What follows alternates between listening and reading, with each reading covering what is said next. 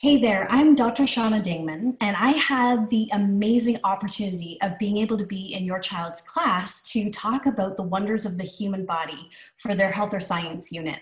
Um, I practice in Port Perry. My practice is called Elevate Women's Health Center, and I, I am actually a pediatric and pregnancy chiropractor. So I've got postdoctorate certifications in the care of kids, and that's why I'm super passionate about educating them and helping them understand how we can create health habits that will carry them through the rest of their lives. So I wanted to record this webinar for you guys as parents so that you know exactly what we talked about. I'll share all the slides that I shared with them and tell you what it was that I said to them so that when you guys are sitting around the dinner table, if they even say that they had a speaker in, you know what we talked about. You can answer questions, and if you can't answer them, you know where to go for the answers but mostly to just provide you with some discussion points, things that you guys can talk about. I've got three kids of my own, and two of them are teenagers, so I know sometimes how difficult it is to create conversations. So, this can be a great conversation piece. So, I'm just going to share my screen with you, and you can see exactly what it was that your child experienced. Okay. So, as I said, I'm Shawna Dingman. I am a chiropractor at Elevate Women's Health Center, and the topic of today's um, or the the presentation that I did for your kids was the amazing Dr. You. And I asked them, has anyone ever told you how amazing your body is? Have you ever really thought about it? We talked about how many cells there are in the human body and I got them to guess how many there might be. And the first guess was actually, it was a great opening guess. It was, you know, one of the girls said, Well, I think it's somewhere around the population of the world, so around seven to 10 billion.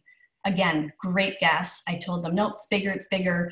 Last guess I took was 50 billion. So they were definitely, you know, thinking big, but for kids, the idea of billions is huge, but there are actually 50 to 75 trillion cells in the body. And to try and give them an idea of just how vast that number is, I actually had one of the kids volunteer to come up and write the number 75 trillion on the board. And I said, you get a prize if you get the right number of zeros. So it was awesome. This kid actually nailed it first time and got a pack of Mentos. okay, so then we talked about how the body is constantly regenerating. I explained to them that cells are sort of the basic unit of the body. Our bodies are made up of cells. And everything in our body is being regenerated all the time. So, your liver, for example, takes about 28 days to regenerate. So, every month you have a brand new liver. That's pretty cool your skin cells are replaced every two weeks or so. And I told them, you know, did you know that the dust that's in your house is actually a whole bunch of dead skin cells of the people living in your house? And they were totally grossed out by that. That was awesome. Um, you know, if you've ever burnt the roof of your mouth on something really hot, those cells in there, they're very, very quick turnover cells, which is why after a couple of days, you don't even feel it. And then there are some cells in the body that really take a long time to regenerate like the skeleton so bone cells. So if you if you've ever broken a bone or your kids have broken bones you know there's i mean part of the reason you need to be in a cast for months is because those cells take months to regenerate. But the reality is that uh, you know every every few years every say two to five years you are an entirely different person. And the cells that you create really depend on the habits that you have today. So if you want to be a super healthy person two years from now when all those cells get replaced, then do really great things for your body, treat it really well. Um, and if you don't treat it well, then you're you're not going to have the same kind of health that you may want to have. Oh, you know, we talk about bad bad dad jokes and bad mom jokes all the time in our house. It's kind of a thing that we do. It makes my kids moan and groan all the time. So I told them this in the class that, you know, I like to share some of my bad mom jokes with them. So I asked them, why did the skeleton not go out for Halloween? And they sat there and thought about it. And then I said, because he had no body to take him out. And the kids just, they just, the drama, oh, that's so terrible. It was awesome. Okay. So people are truly awesome and our bodies are truly awesome. If you get a chance to check out this YouTube video with your kids, I showed it to them in class. they loved it. It's really about people doing incredible things, incredible feats that require a lot of training and adaptation. But you know, when you when you go to those lengths with your body, your body can do absolutely astounding things that you would never think of. So we looked at this plant and I said, okay, something is wrong with this plant. And I said, you know, obviously looking at the left side of the plant. And right away they said, the plant's dying. And I said, right. So a plant has certain requirements for health. What would a plant require if you wanted to get this plant healthy again? And again, the answers were amazing. They just hit it right on, right from the get go. Well, the plant needs sunlight and the plant needs water and the plant needs good soil. Somebody said fertilizer. Someone even said nutrients, which was great. That was exactly what I wanted them to see. And I said, you know, we all know what it takes for a plant to be healthy. It's really very simple.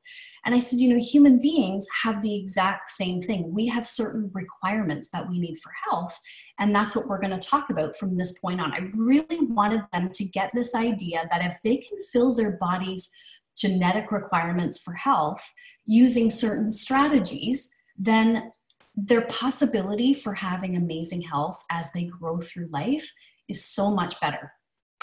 Okay, so the first requirement that we talked about was you have to have a really good brain body connection. I asked them, what is the most important organ in the body? And to be honest, it's kind of cheating that I had a picture of the brain because right away they kind of went, the brain.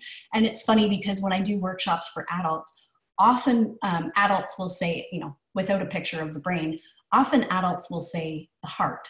And although the heart is a really important organ, my question is always, well, what tells the heart to beat? The brain. So the brain and nerve system are really, that is everything in your body. And we have to have this incredible connection between our brain and our body in order for us to function properly. I explained to them that um, the, the nerve system is the brain, the brainstem, the spinal cord, and the spinal nerves.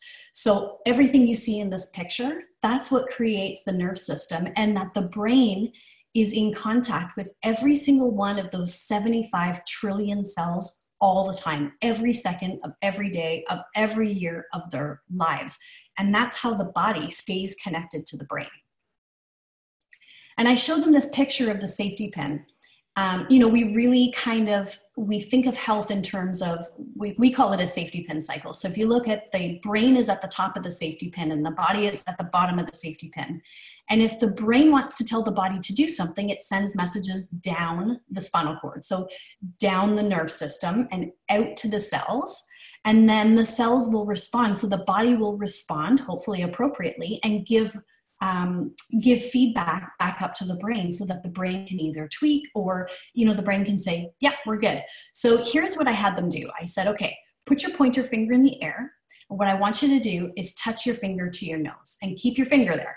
So they did that. And i told them you know when your finger is out here your brain is telling your finger that it wants you to touch your nose.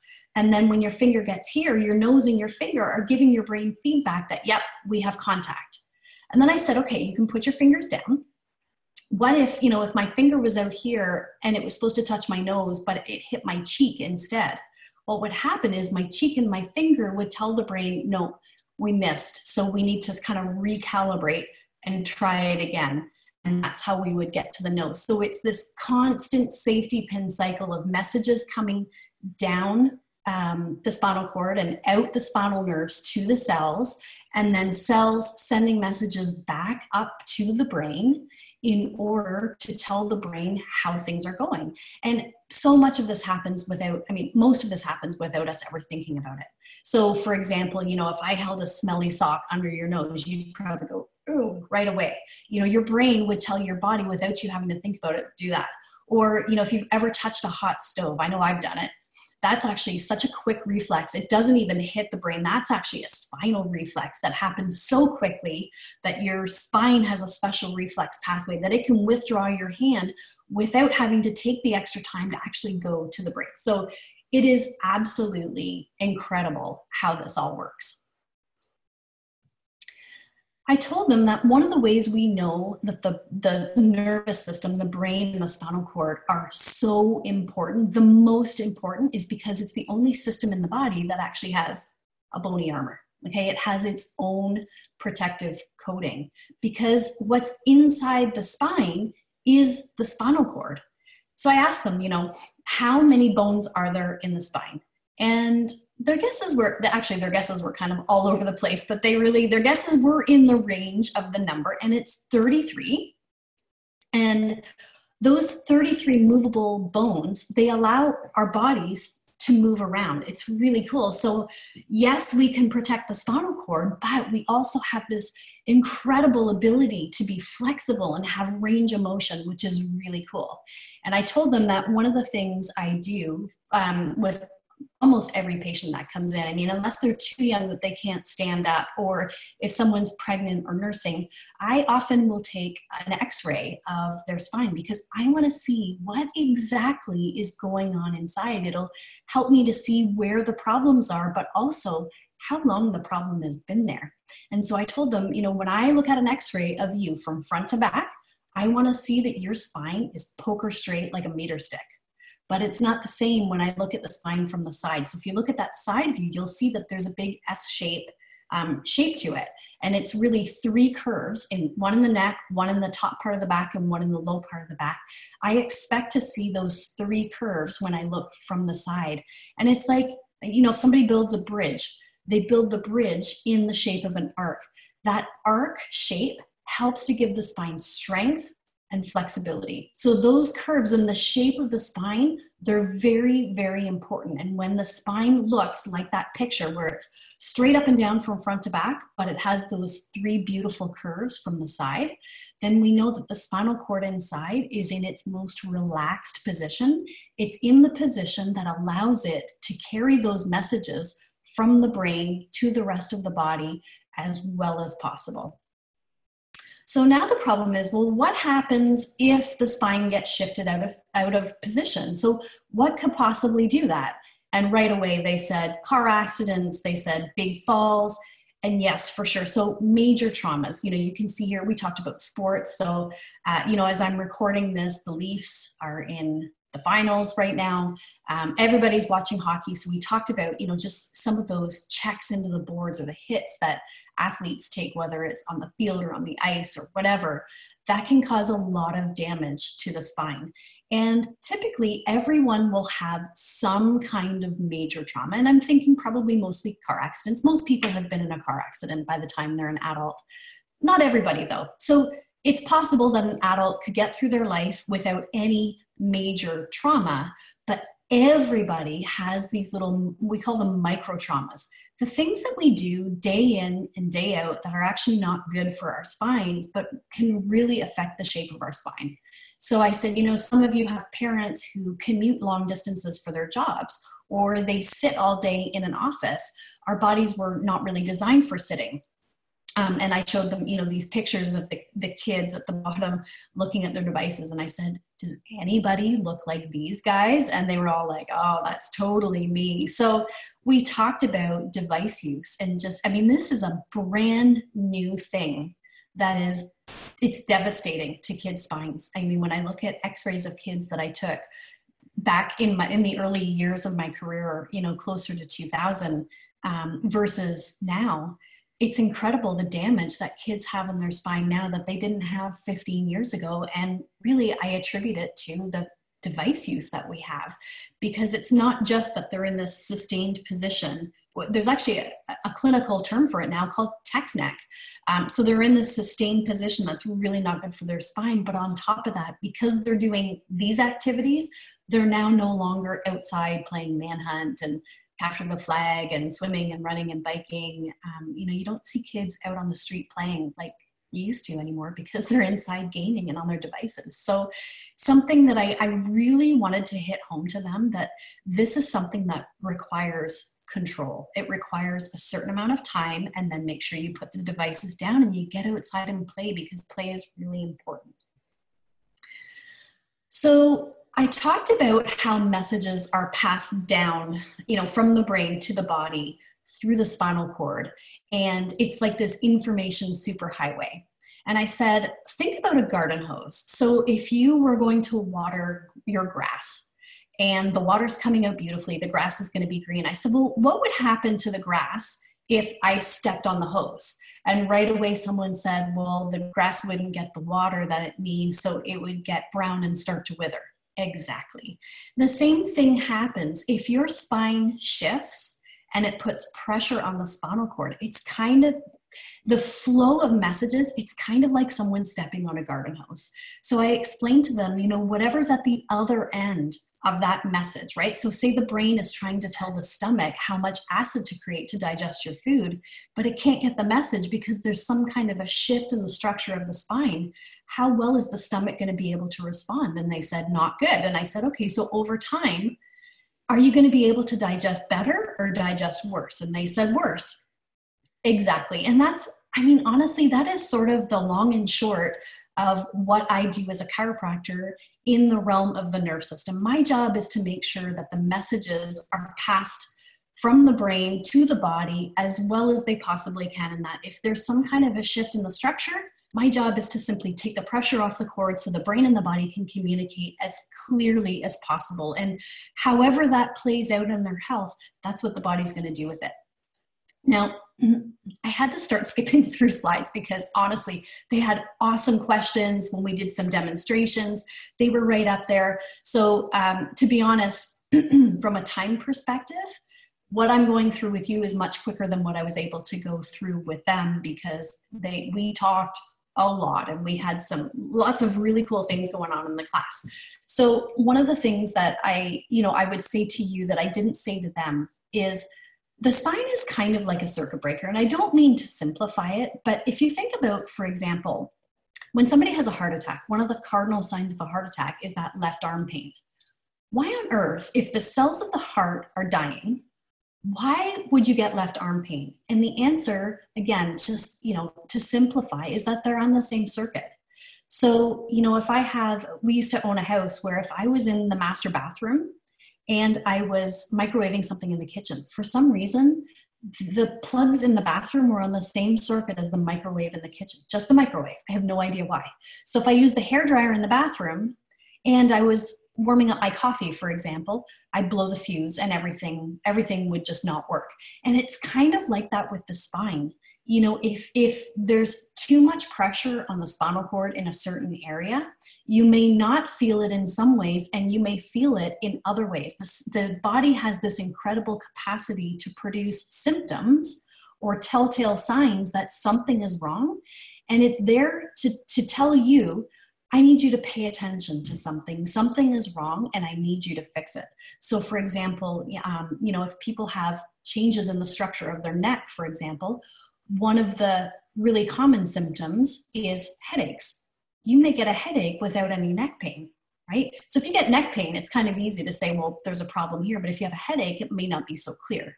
So mm, if you think about the spine kind of like a circuit breaker, that's, I mean, that's a good indication or a good example of kind of how it works.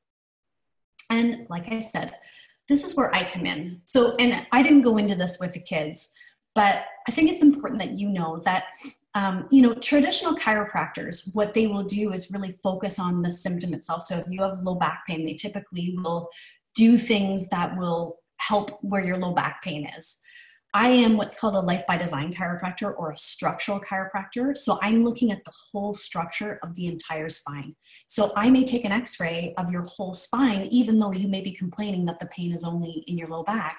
And we may find that the problem is actually coming from way up higher and when we fix that, it can change the whole face of a problem that you may have been dealing with for many, many years.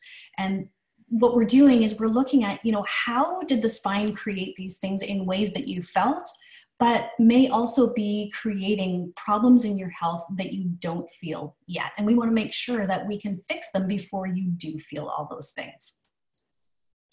So back to our flower. We talked about the first requirement being a good brain body connection.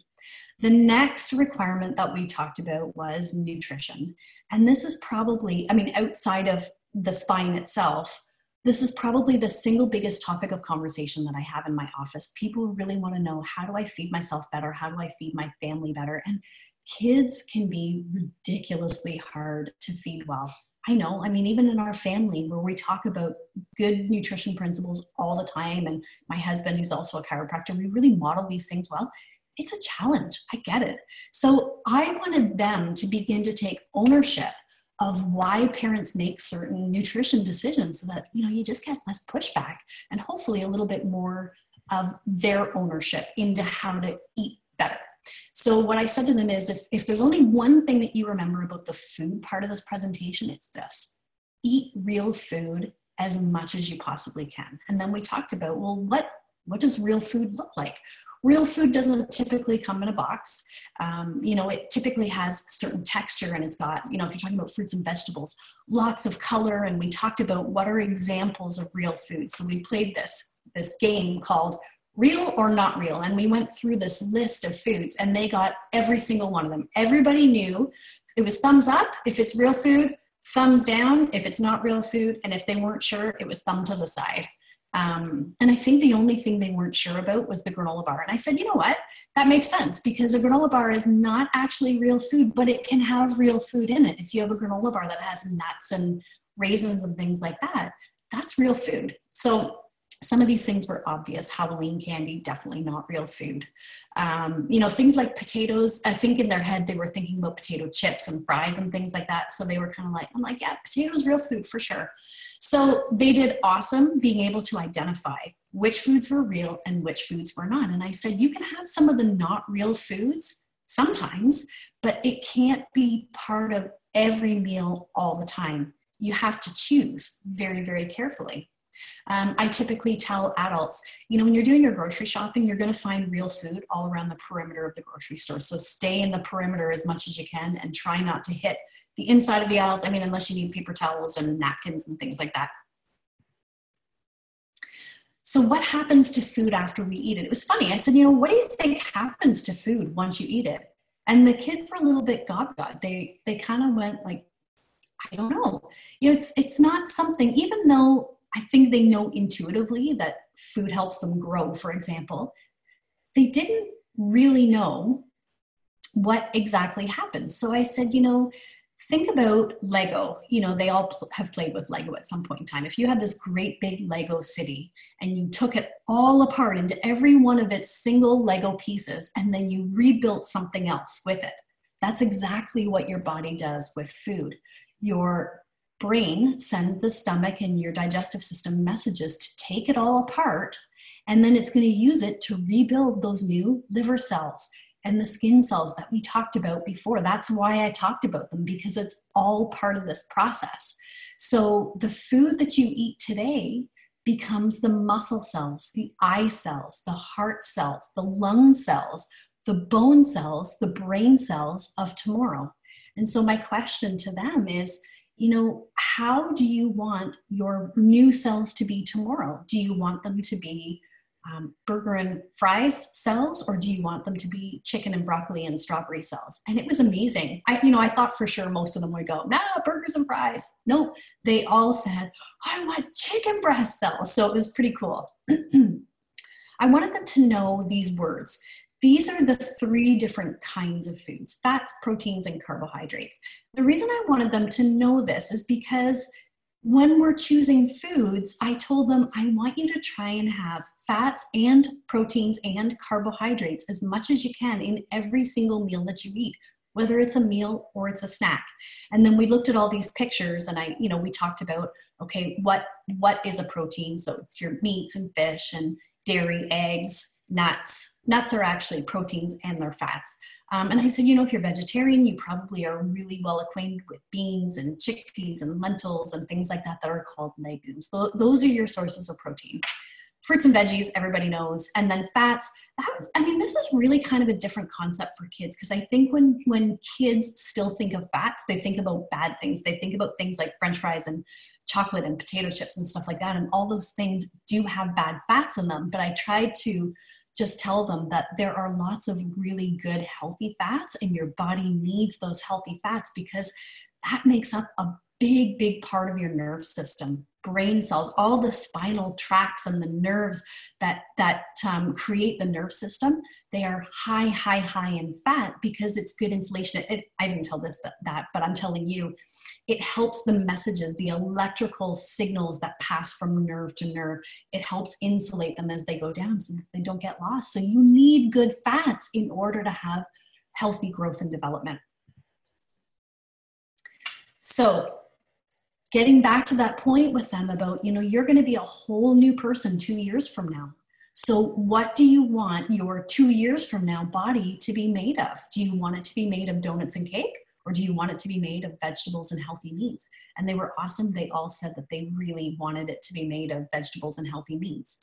And I really tried to help them understand these are the decisions that your parents are making all the time when they're feeding you, when they're grocery shopping, when they're packing your lunch. Sometimes it seems like, oh, why do we have to eat this stuff? But it's because your parents want you to have that really healthy two years from now body that's made of vegetables and healthy meats. Um, now, again, we started to skip through things really quickly here, but one of the things that I find is we tend to live in a very grain based, fast food based, um, very carb, carb heavy society. And when I'm talking about carbs, I'm not talking about vegetables.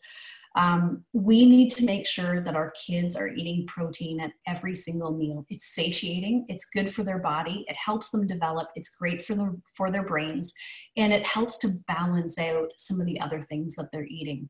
So when we talk about protein, we're talking about having a serving that's about the size of the palm of your hand, right? So obviously, if you're a bigger person, you're going to have a bigger serving of meat. If you're a smaller person, it's going to be a smaller serving, and about the um, like about the width of a hockey puck. That is a good protein serving size for a meal.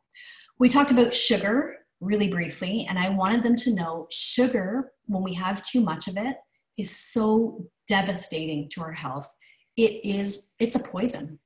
And, you know, if you know anyone who's diabetic, or maybe you're diabetic yourself, you know that someone who's diabetic has to watch their blood sugar so, so carefully because if their blood sugars are not regulated very, very carefully, they could die. And the problem is, we have such sugar laden nutrition in our culture right now, and especially our kids. It's, uh, it's a little frightening. I mean, as a healthcare practitioner, this is probably one of the biggest problems that we're seeing in health right now is simply the amount of sugar that we are consuming. And it's not just it's not the white sugar it's not just the candy it's the pop it's the junk food it's the muffins and cakes and bagels and breads. Uh, it's all of that it just breaks down to sugar as soon as it hits your tongue and if we aren't very careful about the amount of sugar that we are ingesting, what's happening is that, you know, adult, they call it adult onset diabetes. Now kids are getting it when they're teenagers. It's, it's backing down and down and down in age groups.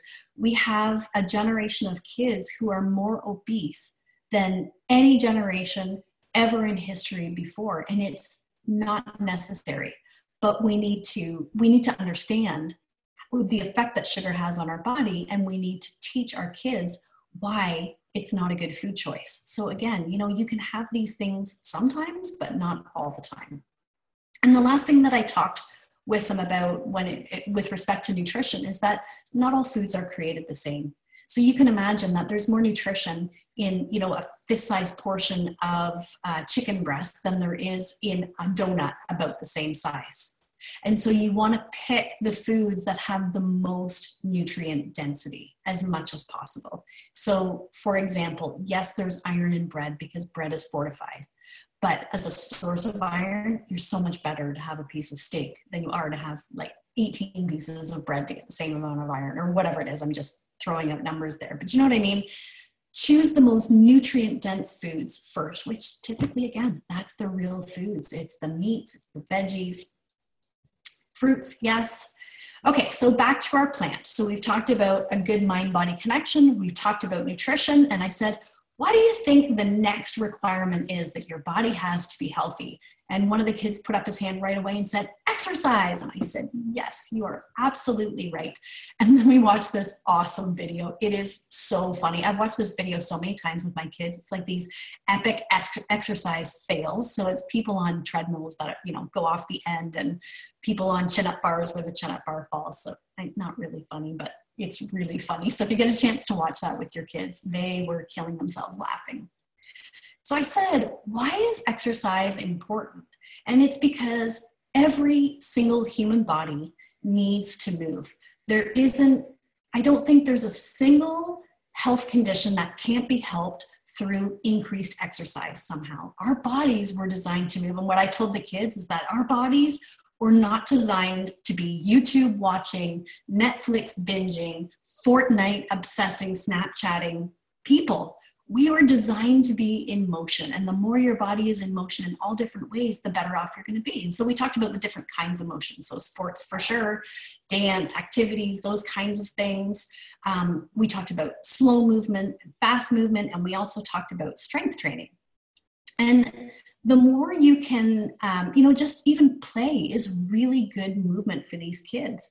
The more you can incorporate all these different kinds of things the better it is I did want to focus a little bit on strength training because it's not something that we're typically taught to do as kids. But this idea of, you know, I said to them, you don't necessarily have to be going out and buying a set of weights or trying to lift your parents' weights if they have them, but your ability to hold your body weight up. There is a reason why they have you do the, uh, you know, chin ups and things like that in gym and push ups and squats. You should be able to hold your body weight that's called functional training. It's strength training. It helps their bones develop, it helps their muscles develop. It's really good for health. And it's something, it's a habit that you should keep in your exercise routine through your entire life. So, that idea of just being able to hold your own body weight. I said, How many of you have ever been on the monkey bars? And they all put their hand up. Yeah, like that's awesome functional training. So, we talked about, you know, just running uh, biking, swimming, those kinds of really fast sprinting type motions are awesome. But we also talked about flexibility. And at this point, we didn't spend a lot of time talking about this, but I am gonna I, I am gonna spend a little bit of time with you because really it kind of applies to us as adults much more than it applies to kids kids are naturally very flexible. So we did some cool things in the class. I said, you know, how many of you can clasp your arms, you know, have them like this behind your back? And I showed them, you know, I can do it really well one way, but I can barely do it the other way. Um, I said, you know, ask your parents if they're able to bend down and touch the floor with their hands. That's a big sort of test of flexibility. And to be honest, they were so stuck on this picture of this woman doing this thing, they were like, wow. So I'm not sure how much they were listening, but one of the tests that I get patients to do in my office, it's called a sit to stand test, and you can try this at home you should be able to. So when you're standing up, cross one leg over the other, doesn't matter which leg, cross one leg over the other, get yourself down so your bum is on the floor and get right back up again without using your hands at all. So not on your knees, not on the floor. You should be able to just sit and get back up with your hands kind of out here and not touching anything. That is, um, it's a test of how mobile you're going to be later on in life. So every point of contact that you have to make with your hands, I subtract a point from 10. Once you get below eight points, what, what the test tells us is that every point below eight, you're taking six years off the end of your life. And it kind of makes sense because if you can't do that as a 30 year old, what is your mobility going to be like when you're 70? You know, the average age of entrance into a nursing home is only 71. And the number one reason that people go into a nursing home is lack of mobility. So, using flexibility training as a regular part of your exercise routine in your week is really important. Things like yoga, um, you know, just doing even mobility work every single morning, getting all of your joints moving, um, you know, head exercises, neck, hips, leg swings, all of those different things, just getting your body moving goes a long way to creating health as you get older. Back to our plant. Okay, so we've done mind body connection, we've done nutrition, we've done exercise. I said to them, oh, first of all, I said, Does anybody recognize this guy? Probably half the class did. So it's kind of comforting to know that some people still see The Simpsons, good or bad, for good or for bad. But I, we talked about sleep and how important it is for your health. And I said, you know, you guys should be getting in the range of 10 plus hours of sleep a night. And so when I asked them to guess, like, how many hours of sleep should you get? Somebody said eight, somebody said 12. I said, awesome. So right in the middle of that, eight's probably not enough. 12 would be unusual for a kid your age, but awesome if you can get it. But 10 plus is what you need. And I said, Do you think that your sleep environment, what's in your bedroom at sleep time, do you think it matters? And every single one of them said yes. And so it was really cool because we talked about devices. And I think this is a really, really important point. So I really hit this point home with them that having devices in your bedroom at sleep time is a bad idea.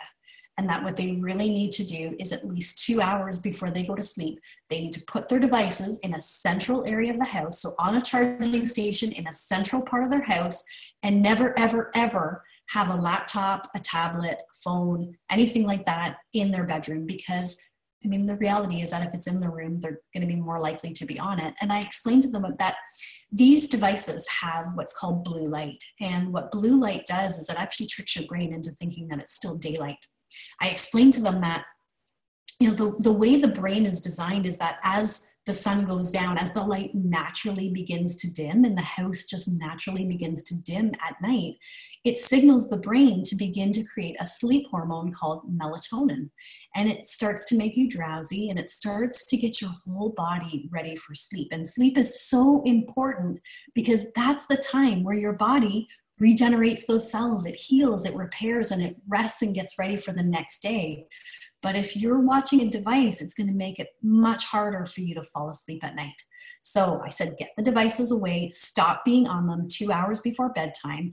And, you know, even TV does emit blue light, but because it's so much further away, it doesn't have the same effect. And because we interact with the TV very differently than we interact with handheld devices, it doesn't have quite the same effect. But even with that, I said the best thing you can do is at least half an hour before bed, turn the TV off and read it's a great way to just relax your brain, relax your mind, and get you ready for sleep. And sleep is so important for your health. And I asked them, you know, what happens if somebody doesn't have enough sleep? What, like, what does it affect? And one of the kids said, it affects everything. And I said, yes, it totally affects everything. It affects their immune system. So people who don't sleep as well, they're sicker, they're moodier, they're more depressed, they find it harder to focus, they find it harder to finish their homework, they can't perform as well in sports. I mean, it literally affects every single aspect of your health. So getting enough sleep is really important. And the last health requirement that we talked about was um, having a positive mental attitude. So this isn't something that I find we talk a whole lot about with kids, but I, I, I wanted to just take this opportunity to tell them that, you know, being human, everybody has good things and bad things that happen to them, but it's their choice whether or not they focus on the good things or the bad things. That we're not naturally designed to be positive people. Some people are more positive than others, but that thinking hopefully thinking happy thoughts, choosing to focus on the good things, it's a choice that we make and it's a skill that we need to develop just like learning to ride a bike or learning to ride a scooter or learning to play tennis or anything else we have to practice this skill and i ask them you know do you hang out with friends who are uplifting and encouraging and make you feel good about yourself or do you hang out with people who kind of put you down they're sarcastic and they don't make you feel good about yourself what kind of a friend are you to other people? And that you have to make the choice to think happy thoughts if you want to have awesome health, because how you think has a massive impact on the health of your body. And again, I said, you know, happy people, people who work at this, are people who typically enjoy better health. They move more. They certainly have better immunity they have better things happen to them. They just seem to attract it much more. So it's really worth their while to understand that how they think is a choice that they have a lot of control over. There's not a whole lot that they have control over as kids, but this is one thing that they have control over every single minute of every single day. And if they don't take control of that, they're going to go with sort of the default in our society, which is kind of negativity. And that was the end of the presentation. Um, you know, so we, again, we just recapped the requirements. So what do you need to be healthy? And they went around the room and they named them all. In our office, we say, eat right, move more, think better thoughts, get adjusted. Or eat right, move more, think well, sleep well, and make sure you have a good brain-body connection. So if you have any questions at all, you are welcome to call me, email me. Uh, you know, if you want to check out my website, it's elevatewomenshealth.ca. I would love to see you in the office. We do complimentary consultations if you ever want to have just kind of a health checkup and see what's going on. I'd be happy to help you with that. But mostly, I hope you enjoy this information, and have a chance to talk it over with your children, answer their questions, and maybe just begin some really awesome discussions about how you can create some great health habits in your family. Have a wonderful day. Stop the share. And like I said, if you have any questions at all, just let me know.